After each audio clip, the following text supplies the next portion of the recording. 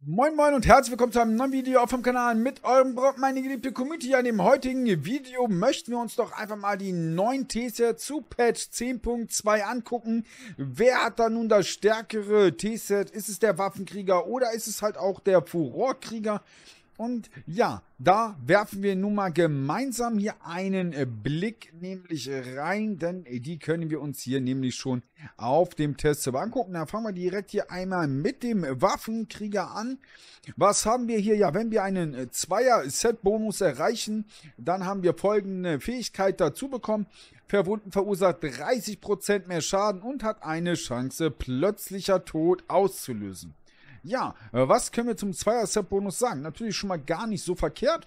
Ne, wir haben hier im, im Mythic Plus-Bereich, sofern wir Donnerknall auch einsetzen, wieder ähm, auf fünf Ziele verwunden drauf, was natürlich sehr nice ist, dass wir dadurch natürlich 30% mehr Damage auf fünf Ziele machen.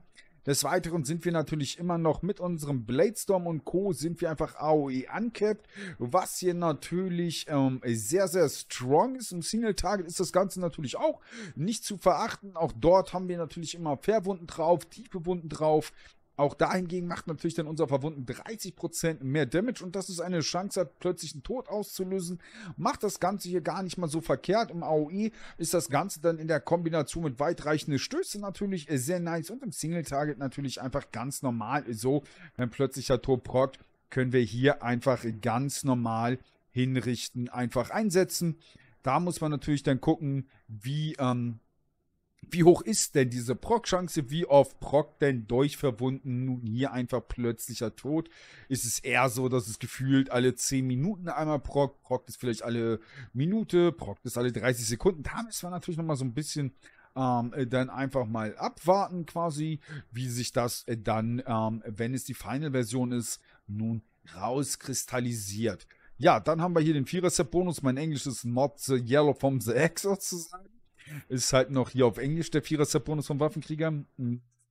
Sandes, also in dem Fall unser tödlich, ähm, unser Hinrichten-Proc sozusagen. Ähm, ja, make your next execute, powerful slam. Macht wahrscheinlich unseren nächsten Slam relativ stark ähm, und castet irgendwie, wenn ich das richtig sehe, Thunderclap, also ein Donnerknall mit 100% mehr ähm, Damage und Hinrichten äh, gibt. Ähm, den Target, was wir getroffen haben, 50% Blutungsdamage ähm, für über 5 Sekunden, over 5 Seconds. Na, dem Target quasi, also 50% von dem, was wir an Damage mit ähm, Hinrichten machen sozusagen, bekommen wir nochmal als Blutungsdot. Das wirkt sich wahrscheinlich eher so ein bisschen im Single-Target aus, könnte aber hier natürlich auch gerade auf dem ähm, Zweier-Set-Bonus dann natürlich sehr nice sein, wenn wir das Ganze mit weitreichenden Stöße kombinieren und dort dann ordentlich kritten dass dann einfach nochmal dieser Bleed Damage vom Execute quasi natürlich ordentlich ähm, Damage macht. Na, das Ganze bleibt hier mal abzusehen. Wir haben uns hier schon das Furor-Set angeguckt. Das Furor-Set ist relativ strong. Muss man wieder sagen. Ja, wir werden die Skillung ändern. Ich zeige euch auch gleich die Skillung. Da müssen wir natürlich hier und da noch so ein bisschen gucken. Ja, das Zweier-Set-Bonus. Odin Zorn verursacht 50% mehr Schaden. Und euer nächsten drei Einsätze vom Blutdurst verursachen 150% zusätzlichen Schaden und habt eine um 100% erhöhte kritische Trefferchance gegen das Hauptziel das ist einfach strong, weil gerade in der Kombination das Ganze mit unserem ähm, Wutzustand natürlich, wo wir mehr Damage machen, das Ganze mit Wirbelwind kombiniert, sorgt natürlich auch einfach wieder dafür, dass wenn wir Odin Zorn einsetzen, wir schon so einen direkt AOE-Pump haben, dann auch noch Blut Blutdurst direkt mit reinpumpen. Davon noch vorausgesetzt, dass wir dann auch dreimal hintereinander oder so sozusagen ähm, Blutdurst einsetzen können und die nächsten drei Einsätze, sage ich nochmal, 150% zusätzlichen Schaden machen. Ne, die kritische Trefferchance auf unserem Hauptziel ist dann auch nochmal um 100% erhöht. Heißt, auch da setzen wir klaffende Wunde direkt drauf. Das ist schon ähm, meiner Meinung nach wahrscheinlich stronger als das Zweier-Set vom ähm, Waffenkrieger, wenn wir das jetzt mal so ähm, vergleichen einfach. Ne, wie oft kann ich ähm, Odins Zorn einsetzen im Gegensatz zu Dings? Wir haben jetzt hier unten Odins Zorn eine Abklingzeit von 45 Sekunden. Na, dann geht der Vierer-Set-Bonus gleich nämlich noch mit einher. Die kritischen Treffer vom Blutdurst reduzieren die Abklingzeit von Odins Zorn um 2,5 Sekunden. Na, auch da reduzieren wir wieder die Abklingzeit. Heißt, er kann wieder viel öfters Odins Zorn einsetzen. Was natürlich schon enorm mächtig ist, muss man hier ganz, ganz klar sagen. Also meiner Meinung nach würde ich schon fast sagen, könnte hier das Furorkrieger-Set wieder den stärkeren Part machen. Ja, es hat einen enormen Pump. Wir haben halt als Abends wieder so, wir haben halt drei, ne, in, vielleicht in längeren, ganz langen Fights, wo dann einfach auch ähm, verwunden schön lange ticken kann. Ähm, kann ich mir vorstellen, können wir auch relativ was rausholen. Aber gerade so für diesen enormen Pump-Damage muss man hier sagen, ist natürlich das Furorkrieger-Set, das Zweier-Set-Bonus mit der Kombination mit dem Vierer-Set-Bonus natürlich enorm mächtig einfach. Ne? Wir können einfach, wie gesagt, mit Blutdors, mit Wirbelwind fünf Ziele treffen, machen da 150% mehr Schaden drauf und kritten 100% auf dem Main-Target, wo wir dann in jedem Fall auch noch einmal sozusagen, ähm, ja, dann natürlich ähm, klaffende Wunde drauf machen, sofern wir das Ganze dann skillen. Da müssen wir natürlich im späteren Verlauf mal reingucken, weil wir haben das ja jetzt aktuell nur äh, mitgenommen, weil wir durch das aktuelle T-Set die Möglichkeit ja haben, quasi 100% kritische Trefferchance von Blutdurst zu erreichen durch den Vierer-Set-Bonus. Das kann natürlich sich noch ändern. Ansonsten, ja, ganz klar, ne, dann wird Ansturm hier natürlich auf jeden Fall wegfallen. Das ist natürlich ähm, klar wie Kloßbrühe, das brauchen wir dann äh, nicht mehr. Da gehen wir dann rüber, packen uns natürlich Odins Zorn rein und dann haben wir hier einmal, wie gesagt, ähm, Titanische Wut. Das nehmen wir mit für den Mythic Plus Content und dann werden wir hier tanzende Klinge wieder. Das Ganze nehmen wir dann wieder mit für den Raid-Content. Da natürlich müssen wir auch im späteren Verlauf dann natürlich gucken, weil ähm, die Tan äh, tanzende Klingen nehmen wir hier mit, wenn wir mehr Single-Target-Damage brauchen. Na, und wenn wir titanische Wut mitnehmen, dann pumpen wir einfach nochmal im AOE. Da muss man natürlich dann mal gucken, wie sind denn nun die einzelnen Boss-Encounter wieder, wie aktuell jetzt zum Beispiel im Aberus Raid, mehr Only Single Target, dann können wir hier mit tanzenden Klingen einfach komplett äh, durchgehen. Ansonsten setzen wir hier bei dem einen oder anderen Boss auf titanische Wut, ansonsten natürlich im Mythic Plus Content ebenfalls. Genau, hier müssen wir dann nochmal gucken. Wird es dann nun äh, kalter Stahl, heißes Blut? Ich gehe aber mal davon aus, dass es das wird, weil wir weiterhin wahrscheinlich auch hier mit ähm, donnerndem Gebrüll spielen werden. Und Brut des Blutes sorgt einfach nochmal dafür, natürlich, dass Odinzorn, donnerndes Gebrüll und klaffende Wunde nochmal ähm, den Blutungsstand um 20% erhöht. Daher gehe ich schon davon aus, dass wir hier bleiben werden, auch wenn vielleicht kalter Stahl, heißes Blut nicht ganz so stark wird, aber alleine Brut des Blutes sorgt natürlich schon für einen relativ starken Damage Pump, was einfach Odinson angeht und natürlich was auch hier donnerndes Gebrüll im späteren Verlauf ähm, angeht, aber dazu ähm, werden wir uns dann mit 10.2, wenn sich da groß was ändert, natürlich einen Furorkrieger-Guide raushauen, ne? in alter, guter Brockenmanier. Ansonsten werden wir hier bei dem Avatar, werden wir dann hier auch Qual Titan mit reinpacken. Na, bei der Aktivierung von Avatar wird Odin Zorn eingesetzt und bei Aktivierung von Odin Zorn wird Avatar mit verringerter Effektivität eingesetzt. Ansonsten bei Waffenkrieger, ja, da wird sich groß im Ganzen gar nichts ändern, muss man sagen. Ne, da kann man ähm, dann mal gucken, welches Bild ähm, man denn spielt. Aktuell habe ich das Bild zum Beispiel relativ viel in dem Plus ähm, auch gespielt, ist eigentlich sehr stark. Liegt hier im Single-Target vorne.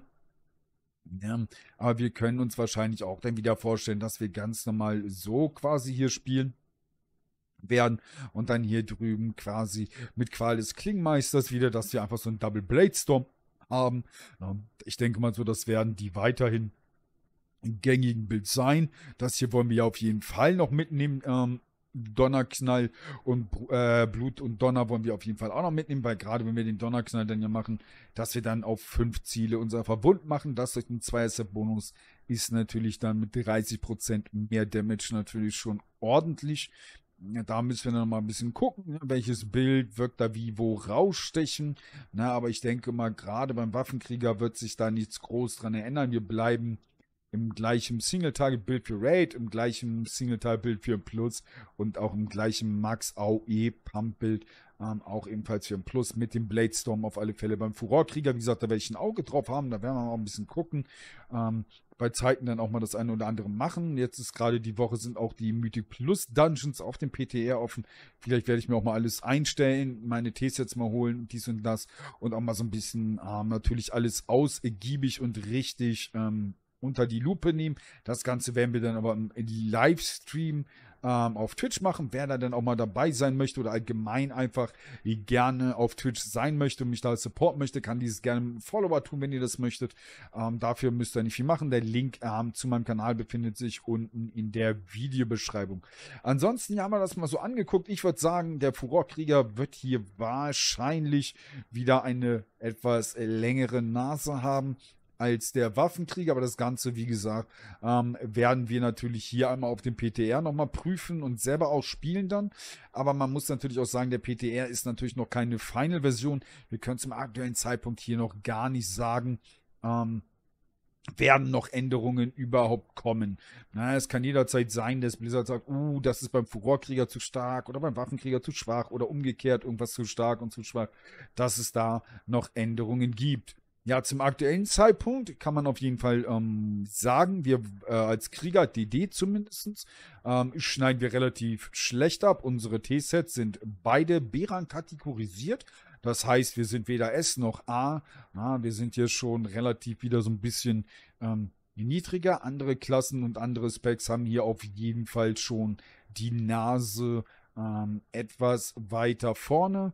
Aber ansonsten warten wir einfach mal ab, ne, wie sich das Ganze jetzt hier auf dem PTR auf jeden Fall entwickelt. Und dann, ähm, wenn Blizzard ähm, den 10.2 Patch als Final-Version lockt, ja, dann sollten wir nochmal reingucken, wurden noch Änderungen am T-Set vorgenommen oder nicht. Weiterhin müssen wir natürlich auch noch dazu sagen, auch wenn hier und da natürlich noch die ein oder anderen Änderungen auch an unserem T-Set vorgenommen werden über den aktuellen Raid-Content dann zu 10.2, können wir eine legendäre Axt uns freispielen. Dafür müssen wir dann den Endboss legen.